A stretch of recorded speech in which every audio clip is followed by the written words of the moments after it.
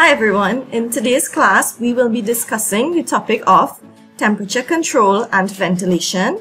This falls under section B of your syllabus, unit 1 and this is part 1 of two videos that I will be uploading for you. Let's look at our objectives for today. Firstly, we are going to describe the methods of heat transfer and their applications, which are conduction, convection, and radiation. We're also going to, to mention land and sea breezes. We are going to explain the principle by which thermostatically controlled household appliances operate, such as electrical and gas ovens, as well as electrical irons.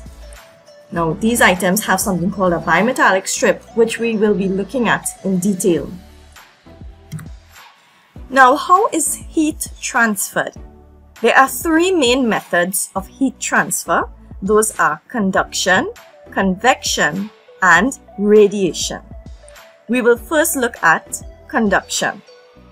Now let's say for example, these diagrams here represent rods. That's R-O-D-S, right? This is a non-metal rod, meaning it can be plastic, wood, rubber, styrofoam, or anything that is just not a metal. And this one is a metal rod. Now if you remember from your Form 3 chemistry, say for example aluminum, in aluminum, its outer electron orbital had three electrons. These are also called free electrons when it is in its metallic state. So these free electrons are represented by these red dots here. And these are the other atoms. Alright? So normally at room temperature, these electrons would be vibrating. Right? So when it is heated, these electrons gain energy and they begin to move rapidly. They gain kinetic energy. And it's that movement of um, electrons that is what increases the temperature right? So when the electrons bounce into their neighboring electrons and neighboring particles, the temperature of the whole metal will increase rapidly. And this would make them good conductors of heat. Now for non-metals now, they do not contain these free electrons. So if you look here, you don't see these little red dots, right? So very little heat transfer takes place between its particles. Yes, you can heat it, it can catch fire, but there will not be much transfer along the rod, right? And this is what makes them poor conductors of heat, or you can also call them good insulators. Let's look at convection. So convection is the movement of air and liquid due to different densities of heated particles. Say for example, we have a, a pot of water and we are going to heat up that pot of water right so at a more um, atomic level right? This is what it would look like. So at the very bottom of the pot in the very center of the heat the particles that are closest to the heat will heat up first. Now when something is heated it expands and its density decreases. So when its density decreases it rises up. As this rises up, the cooler and more dense region of molecules fall to take its place.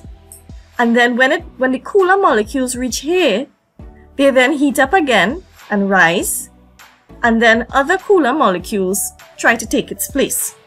So this circular movement continues until the entire temperature gets uniform. Okay? Uh, say for example as well, we put a crystal of potassium permanganate in a beaker of water and we heat it. Now this is like a little crystal of sugar.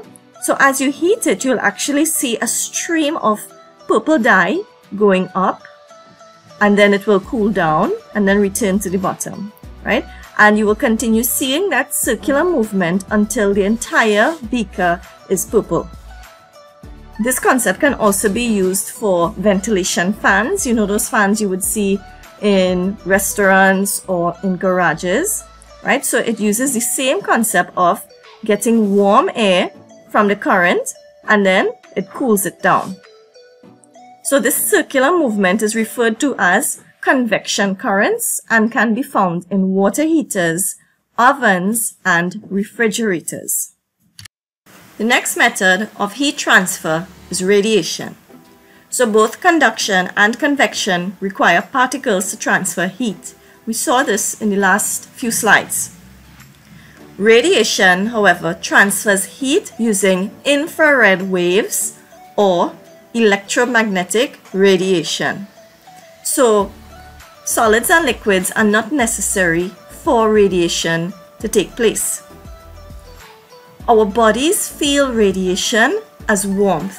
So let's say, for example, you step out of a cold room into um, warm air.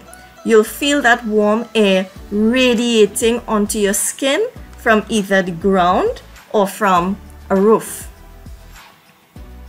Electromagnetic radiation can be transferred through gases or in a vacuum. So, through a vacuum, this is how we get heat energy from the sun. Remember in space, there's no air, it's a vacuum. And this is how heat will travel to the earth. And I'm sure you've heard of UV radiation. This is one form of radiation that comes from the sun. Radiation can be reflected or absorbed. So say for example, we have different types of surfaces a mirror or a shiny surface or even a galvanized, right? This will reflect radiation. Shiny surfaces reflect radiation. Dull surfaces or dark surfaces such as asphalt, this will absorb radiation and it will emit it as heat energy. So let's look at again a pot of water being heated. So as this, the pot sits on the burner, the direct contact between the burner and the pot will be conduction, right? The heat that you will feel from the burner, remember you are not touching this hot pot, you will feel it radiating onto your skin. And also, in order to heat this pot of water, the hot um, pot will warm up the water to the bottom, the water will rise, and then the cooler water to the top will rush in to take its place, which forms a convection current. So just a simple thing as boiling a pot of water will show you three different types of heat transfer. This is just a summary of the heat transfers. So conduction is the direct flow of heat through a material. Convection is a heat transfer of a surface and adjacent fluid, which can be gas or air. And radiation, it's the transfer of thermal energy or heat energy through matter by electromagnetic waves. Thermostats. A thermostat is a device that automatically regulates temperature or that activates a device when the temperature reaches a certain point. So thermostats essentially controls your temperature.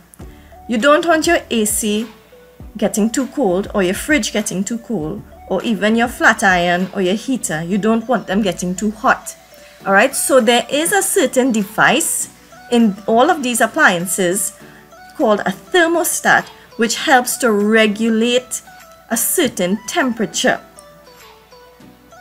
A bimetallic strip is an important component of thermostats. It consists of two strips of different metals bonded together. Now let's look at the, bi the bimetallic strip. Now a bimetallic strip is just a strip of metal, of two metals, alright? So for example, we have this strip contains brass and steel. The strip is straight at room temperature when it is hotter than normal temperature, the brass will expand, but there's no place really for the brass to go other than to bend. So the more it is heated, the more it will bend and it will go towards the outside path of the curve. Now if it is colder than the temperature you need, the brass will contract and it contracts and it becomes the inside of the curve. So this movement of bending down or bending upwards, this can disconnect or reconnect a circuit. And this is very important in thermostats. So in an electric iron, the bimetallic strip is straight at room temperature. So if you look at a little circuit here, this is the bimetallic strip. The top part is brass and the bottom is iron. Current flows through the circuit and the heater increases in temperature in order to be used. So the current heats up this part here and this will continue to heat up the bimetallic strip. Now if the temperature gets too high, the brass expands downwards away from the contact. So if you look at, at it here, the brass expands downwards, which means it will expand this way and it's going to break the contact, meaning it's going to break the circuit. When it breaks the circuit, the heater is disconnected and it prevents further heating from taking place. So after a certain temperature, the heater will disconnect and it will stop heating up. Then it will cool down, the bimetallic strip will straighten, and then it will start to heat up again. Gas thermostats. Now thermostats are also present in gas ovens. So imagine you are standing on the side of your stove and this knob here would be your control knob to control the temperature inside your oven. Alright, so the thermostat in here uses an alloy made of steel and nickel and it is called an invar. Right, now an alloy is just a mixture of two metals, two or more metals. When it is heated, this invar will expand and it moves slightly to the left. So when it moves to the left,